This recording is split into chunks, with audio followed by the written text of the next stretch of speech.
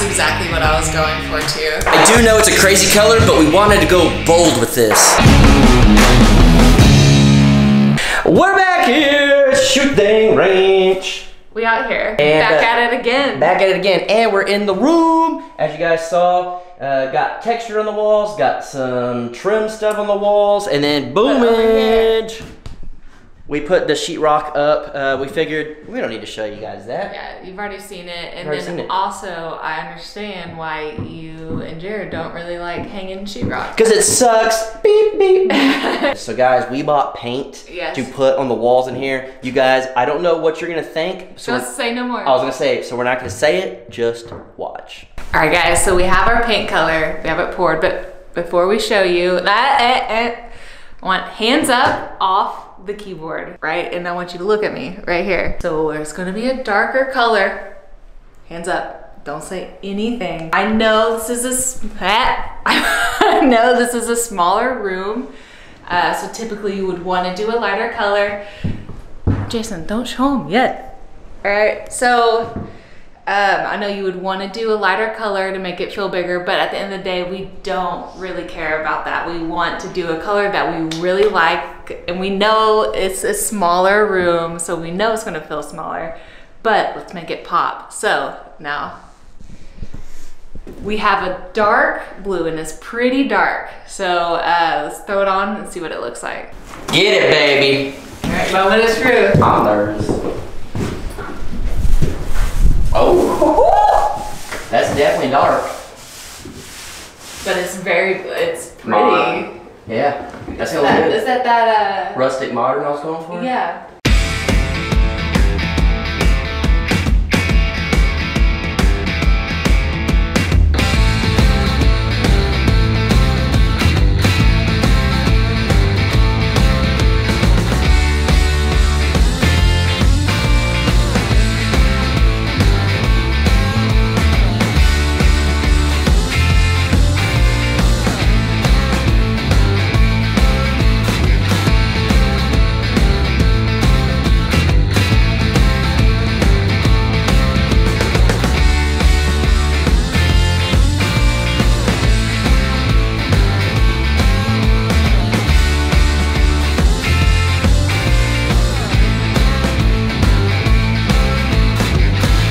My hands are hurting. Yeah, my arms are hurting.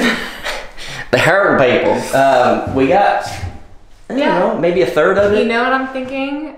that we screwed up. No, I'm Oh. thinking a paint spray gun situation. Yeah. So we have the sprayer, but the uh, nozzle on it broke. I already, I'm already having to switch hands on the camera because it hurts so much. Um, but as you can tell, we took our hoodies off. It's warm. Yeah, and I really did want to get paint on the uh, True. shooting ranch. Yeah, but it is getting warm. Okay. Um, like you were just saying, you're like, I'm about to take this beanie off. Yeah. It, it's warm in here, and, and it's not cold outside by any means, but with the wind being blocked and all that, like, I truly don't think we're gonna have a problem with no insulation. Yeah, no. But you picked the color out. I did. So I'm gonna need the hate to kind of Yeah. just a They little come bit, down a little little bit. Yeah. We- again, we know dark colors make the room seem smaller, But, we, uh, we want to make it pop. Yeah, but too. on that right now, like if you literally like this block half, it feels the same. Yeah. Um, It- it's it already feels the same. It feels the same. Uh, it, it's really not bad at all. Mm-hmm. And honestly, with a light in here, because you could tell where it's the sun's hitting it, and it's pretty. It's a blue color. Mm-hmm. Yeah. So it's really not that bad. Uh, I don't know how it's going to translate on camera. Right? I'm I'm very happy with it. Yeah. Again, just didn't want to do something like boring, No. a white, gray. No. Been there, done that. Like, let's do something fun, something Yeah. that we walk in and we're excited to see. Yeah, and this whole build is not your conventional build. We Yeah. literally took a hole in a shop with a tree growing and Yeah. we turned it into a room, no insulation. We kept the old window gunk on there. We, we kept the ceiling up there like that. I mean, Yeah. it's we wanted something different. Yeah. One thing that I absolutely love though too is the contrast in the color right here. This kind of our stain versus this. I think that looks so good, and that's exactly what I was going for too. Um, I'm not gonna throw this out there, but I'm gonna throw this out there for you guys listening. She even said that might actually look pretty good as the color outside on the shop. We'll leave it at that. But guys, um, we're gonna go ahead and take a break on this. We're gonna come back with the sprayer and all that stuff. Should go on a lot better. Be able to put the stove in. Um, then we got to start planning our bed, furniture, I mean, flooring, All, all, of that's that. left is so at this point again, stove, flooring, and then the bed. Yeah, so it's just after this the final touches. Yeah. But um, yeah, we'll we'll plan that out and stuff. But the next time you see this, we should be spraying it. Should be finished um, with the paint and everything, and a wood burning stove. Hopefully with the fire going and everything. Ooh, that's nice. Guys, Shoot Dang Fest. I announced a lot of the details on Coffee the Crockers. I'll put a link down in the description and the top comment if you guys want to check that video out about Shoot Dang Fest. I'll talk more about it in later videos, but you can go check out the Coffee the Crockers. It's all the details, phone numbers, how to get a hold of the uh, hotel and all that stuff. So go check it out. Hopefully we'll see you Shoot Dang Fest, and I'll announce more about it later. But for now, let's get back to work. All right, day two of painting. Uh, unfortunately, Danielle had to go to work, so I brought the spray gun out here, and we'll see if it gets done any better. Unfortunately, you can see some brush strokes and stuff. We're hoping this will take care of it.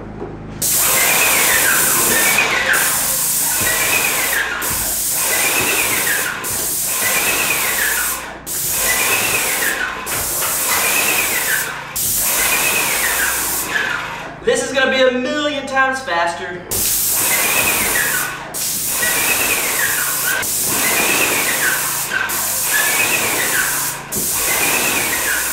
Alright, I got a spare piece of sheetrock that I'm gonna cover this with so I can spray it.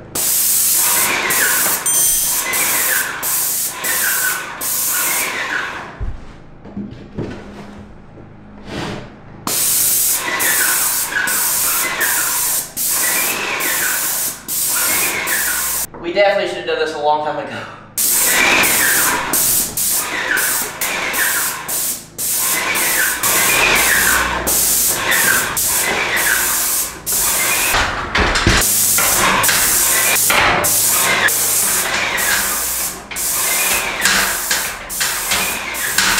Since we are spraying it, I got painter's tape and I'm gonna tape the ceiling before I spray it.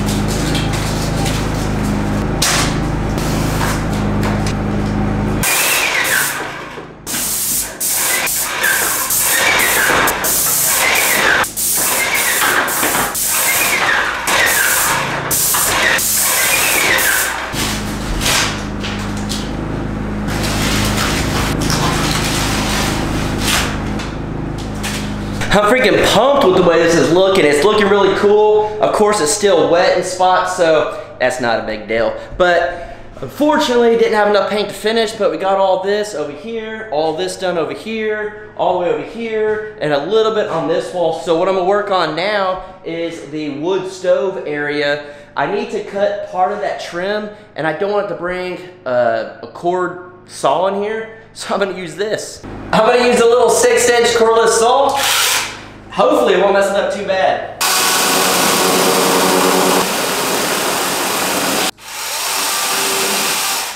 That was actually a really good clean cut.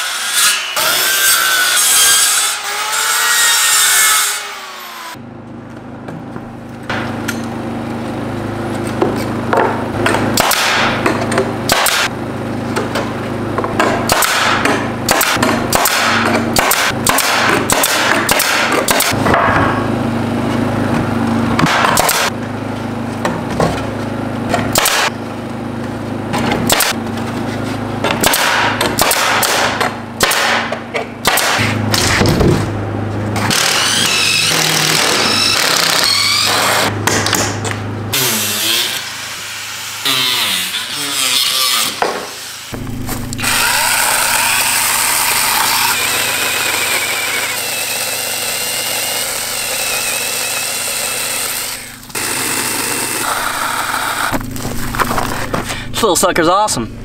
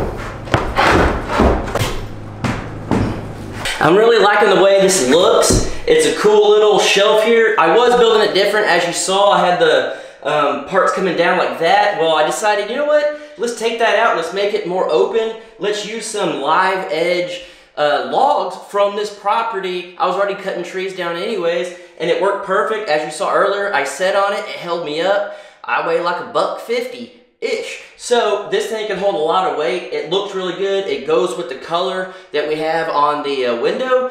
But unfortunately, I don't have enough paint to finish and I don't have enough materials and stuff. So I gotta run to Home Depot. So I'll be right back. All right guys, so I'm back. I got some more material. Let's get working again.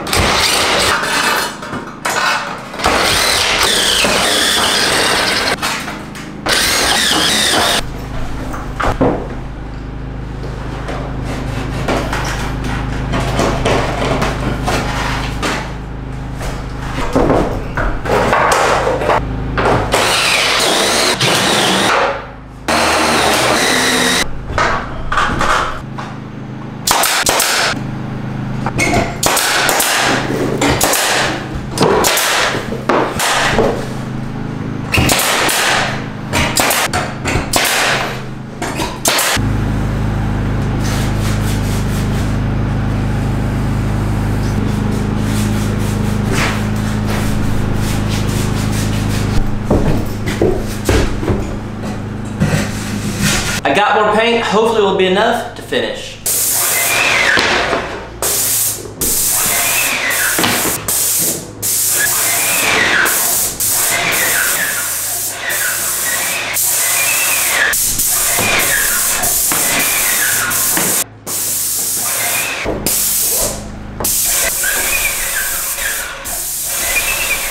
Alright guys, so I am done painting. I got it all the way around as you guys can see. From there, I still need to do the window trim on this side and some spackling up top, but I got the uh, paint over there. I did get a little bit on the uh, on the window trim. I'll clean that up, but the paint went all the way around. It's still wet, unfortunately, so it's gonna look a little weird, but I got that window all done up. And then what do you guys think of this fireplace? Unfortunately, it's not hooked in perfectly how it's supposed to be up there. I need to get another part. It's just really hard to figure it out, but I did cut a hole through the wall, so it is ready to be vented out. I just need the right parts. I do know it's a crazy color, but we wanted to go bold with this. So we went bold with it, and Danielle, just wanted to do something different, something, it wasn't just plain. I really like it. I know a lot of you probably thinking, it's dark, it's dark, it's dark. It is a little dark in here, but there's literally no lights. The only lights I have are these cheap little shop lights. So, unfortunately, um, it is a little dark in here right now, but once we put a light up in the top, it's gonna be really cool. Once the paint dries, it'll look even better. But I am very, very pleased with it. I'm very excited. I love the color scheme of it. It's something totally different. It's something that is bold. It's something that when we come in here, it's just, fun. It's fun. It's something that's not diff or it's something that's not plain. It's different. It's exciting. It's cool. It's just how we want to express ourselves. So I am really pumped with this fireplace area. I think it looks awesome. I think the uh, metal on it in the back made it look really good. I know this stove really well. I know some of you guys are saying it needs to be further away from the wall and all that. I know the stove I know this is perfectly fine. I've used that stove for about two years, so I know how it gets hot and where the heat goes, so I'm not worried about that. But guys, hopefully you liked the video. Hopefully you like the color. Hopefully you like the bold statements of the uh, stain that we got on the windows and stuff and the uh, trim on that. I think the trim, the metal, and the logs on the bottom really made that sucker pop, so I'm pumped with it. But we got a lot more work to do. We got to put some flooring in here, do a little bit more stuff on this back wall just because I didn't have enough materials. So we got to get that done and then we got to do some stuff in the shop. Then we got to dig the pond out. We got to clear land. We got to get Jared stuff ready. Then we got to get our spot for our tiny house ready. This is not a permanent room to live in. This is very temporary and it'll be an office later. So a lot of stuff's coming. We'll catch you in the next.